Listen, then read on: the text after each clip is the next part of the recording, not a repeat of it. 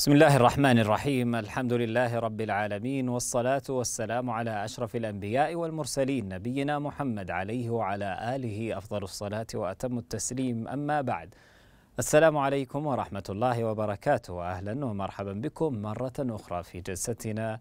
في مجال اضطراب فرط الحركة وتشتت الانتباه. هذه الجلسة بإذن الله ستكون عن المهارات الاجتماعية في المدرسة للطلبة ذوي فرط الحركة وتشتت الانتباه.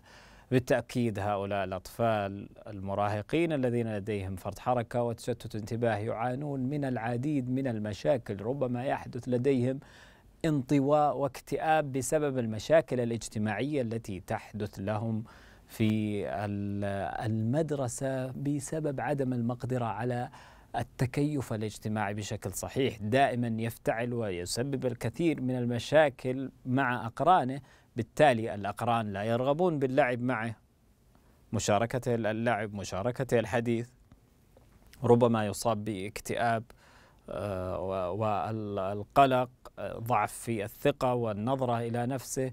العديد من المشاكل. نحن في هذه الجلسة بإذن الله سنتحدث عن هذه المهارات الاجتماعية آه، لهؤلاء لتنميتها داخل المدرسة. إن الضعف في المهارات الاجتماعية معيار أساسي في تعريف وتحديد العديد من الإعاقات الأكثر انتشارا مثل اضطراب فرط الحركة وتشتت الانتباه صعوبات التعلم ولذلك من المهم للطلاب تعلم المهارات الاجتماعية للوقاية والتقليل من تأثير هذه الإعاقات على النجاح المدرسي. إذا مهم جدا لدي المهارات الاجتماعية لهؤلاء الأطفال للتفوق والنجاح المدرسي وحتى ليس فقط النجاح بالدرجات حتى النجاح في تعاملاته وأن يتعامل بالشكل الصحيح والأفضل قدر الإمكان على حسب آه، إمكانياته. مهم جدا داخل المدرسة تطوير هذه المهارات الاجتماعية سيساعده كثيرا من خلال الدراسة وتطوير الدرجات وكذلك تطوير شخصية هذا الطفل زيادة ثقته كذلك آه، بنفسه. عندما تكون المهارات الاجتماعية ضعيفة لا يستطيع المعلمين إشراك الطلاب مشاركة كاملة في خبرات تعليمية متنوعة وبالتحديد الجماعية كالتعلم التعاوني. نحن دائما مع هؤلاء الأطفال الذين لديهم فرط حركة وتشتت انتباه نركز على أهمية التعليم وتدريبهم بطرق غير تقليدية. نهتم جدا أن يتعلم هذا الطفل بطريقة وبأسلوب غير تقليدي، نتحدث دائما إذا أردت مني من هذا الطفل أن يتعلم بطريقة صحيحة ألا أعلمه بالطريقة الاعتيادية للأطفال الآخرين. يجب أن تكون طريقة التعليم أكثر فاعلية أكثر إثراء وجذبا لاهتمام وانتباه هذا الطفل.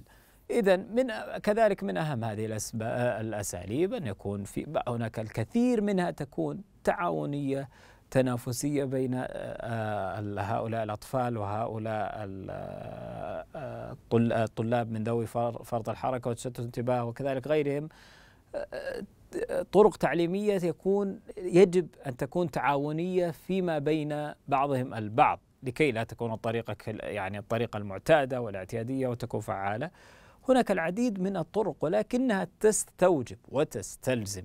أن تكون هناك مهارات اجتماعية لهذا الطفل. مهارات اجتماعية مناسبة.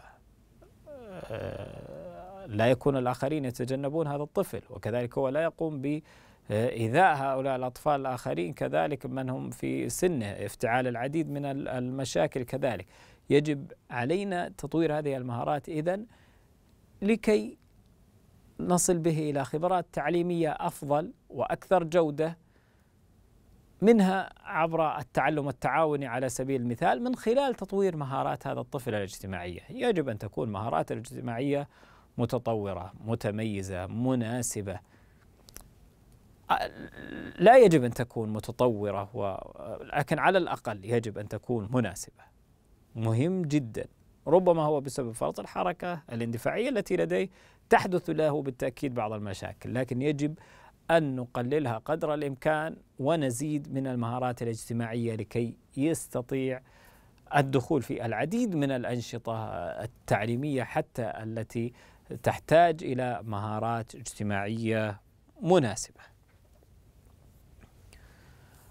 ومع ازدياد استخدام معلمي الصف لاستراتيجيات التعليم التعاوني في المناهج أصبحت الحاجة لوجود مهارات اجتماعية لدى الطلاب واضحة. كما نبهنا وذكرنا قبل قليل. الأهمية لهذه الطريقة لما نذكره دائما عن أهمية هذا التعليم التعاوني. التعليم التعاوني مهم جدا.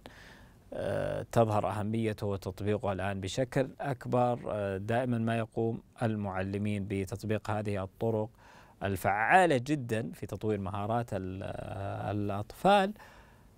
فلا بد إذا لنا بالتالي أن نطور من مهارات اجتماعية لطفل فرط الحركة وتشتت الانتباه لأنه بالتأكيد إذا كان لديه كل ما زادت المشكلة أو قلت المهارات الاجتماعية التي لديه وأصبح فيها مشاكل كلما قلت استفادته من آه، طرق التعلم وخصوصا التعاوني منها والذي يحتاج إلى اشتراك طالب وحتى وطالب آخر أو مجموعة ومجموعة أخرى أيا كانت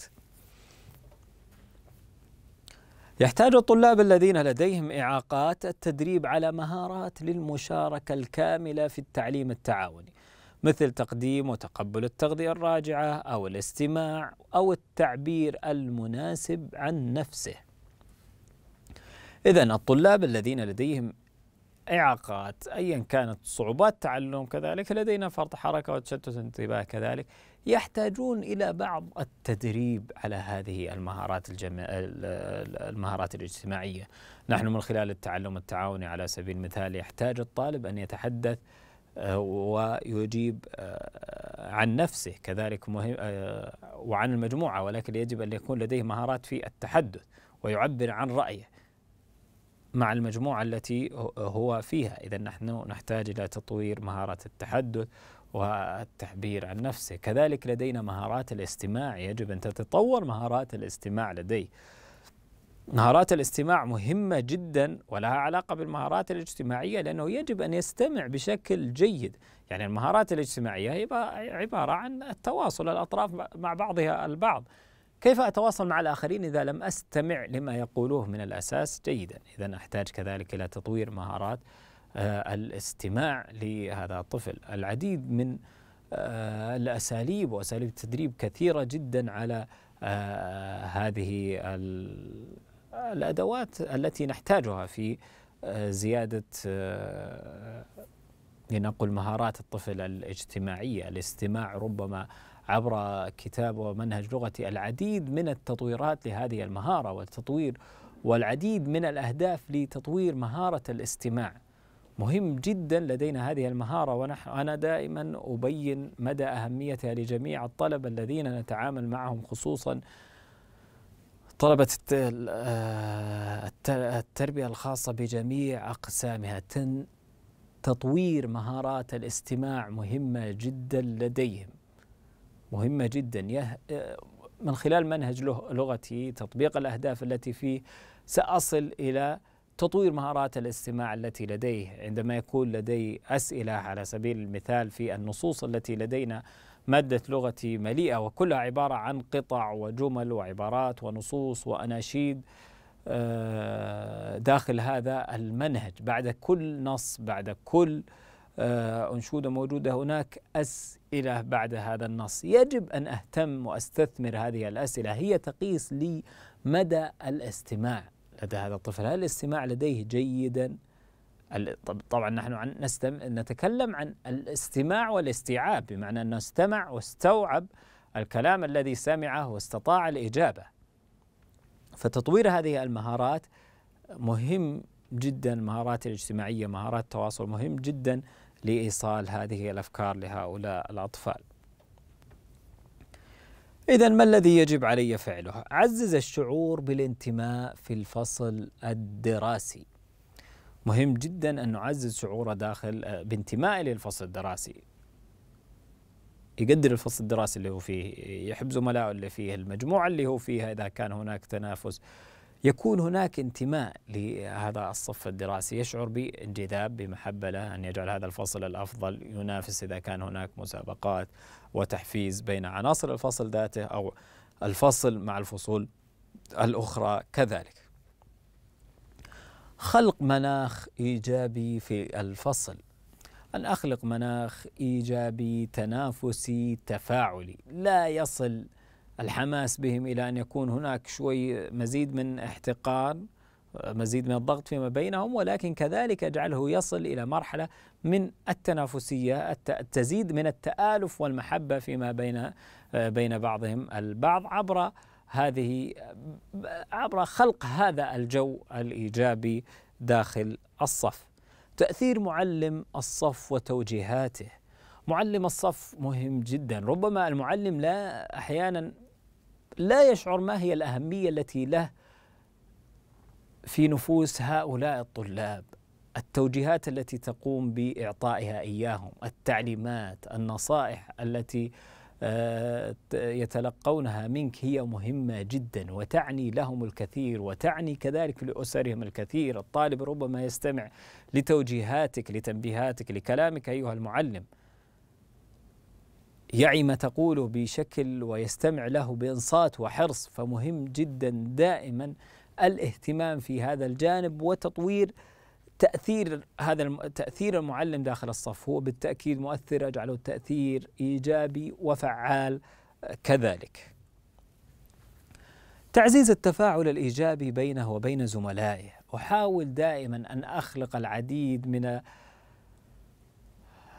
الأجواء المسابقات التي تحدث التفاعل الإيجابي لا تفاعل المشاكل التفاعل السلبي. بدل ما أخليه فاضي في الفصل يتهاوش مع هذا ويتناقر مع هذا ويرمي القلم على هذا أجعل الجو أكثر إيجابية فيما بينه. أحفز هذا التفاعل الإيجابي. أجعله في مجموعة أشركه مع مجموعة يتفاعلون مع بعضهم البعض. يهتم أن تكون مجموعته هي الفائزة من خلال هذا التعلم التعاوني على سبيل المثال عبر النقاط بهذه الطرق وخلق هذا الجو سأجعل الطفل أكثر تطورا وأكثر نضجا في الجانب الاجتماعي والمهارات الاجتماعية. إلى هنا أكون وصلت إلى نهاية جلستنا لهذا اليوم. شكرا لكم على الإنصات والمتابعة. سعدت بتواجدي معكم الأستاذ محمد بن أحمد الناصر. ألقاكم في جلسات قادمة بإذن الله. دمتم بحفظ الله ورعايته. والسلام عليكم ورحمة الله وبركاته.